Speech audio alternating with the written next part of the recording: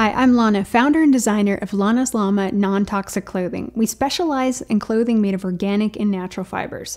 Most people do not know what synthetic fibers used to make synthetic fabrics are, unless you're a chemist. In fact, they don't even think about it, although chances are high that they wear clothing made of synthetics just about every day. So, what are synthetic fibers?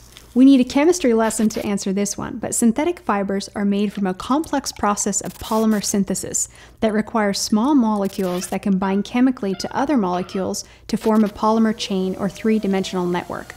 The compounds that are used to make synthetic fibers come from petrochemicals. Synthetic fibers are not grown in the soil, they are made by a lab technician using chemicals. These are man made fibers. Here's footage of a chemist making nylon, a synthetic fiber, so you can see this process. Kind of kills the image of sexy nylon stockings, doesn't it? The sector of the fashion industry that uses entirely synthetic fibers would not exist had it not been for chemists like this guy. Synthetic fabrics are textiles made entirely from synthetic fibers.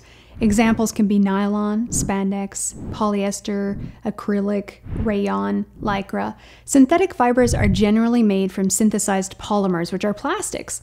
So, how do we get from the beaker, forceps, and pipette to that polyester shirt? After the polymerization process comes the spinning process, where the liquid is forced through spinneret holes and comes out a string liquid filament like thread. Then a twisting process twists the filament fiber into a yarn. This yarn is turned into fabric and then used to make clothing.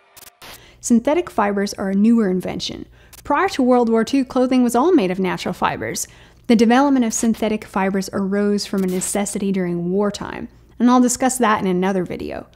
During the late 1800s, several European men succeeded at creating a semi synthetic fiber, but it was Wallace Carothers, an American researcher at the chemical firm DuPont, who was the first to invent an entirely synthetic fiber nylon.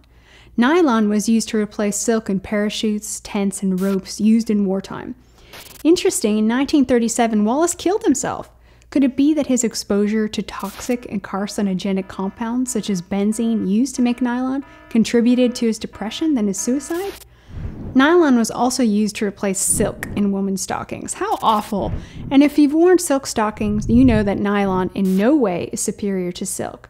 This idea that nylon is better than silk was marketed by the chemical company DuPont, using famous actresses to sell it to women. It was a massive psyop built by genius marketers, a gimmick by capitalists to sell women a toxic product.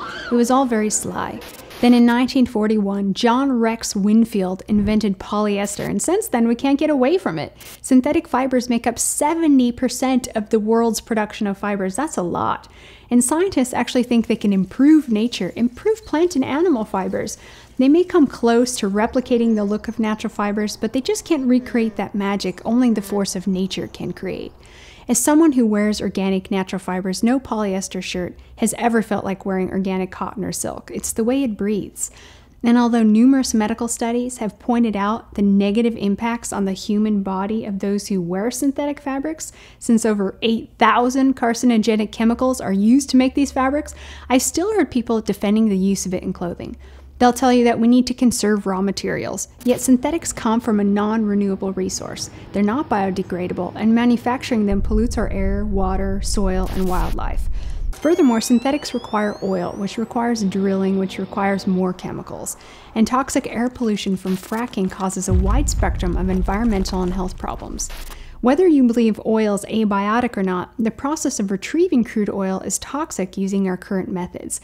Of course, I'm not opposed to using petroleum, I couldn't make this video without it, but when it comes to wearing it, I am.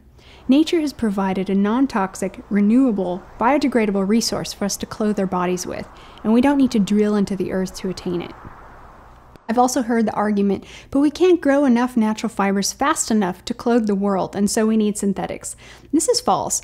We can grow everything we need. The fact is that synthetics have greatly helped to create a society of mass consumption, waste of disposable, cheap goods. We don't live in a society anymore that values quality over quantity. We want it cheap, and we want a lot of it, no matter the long term implication for our children's children.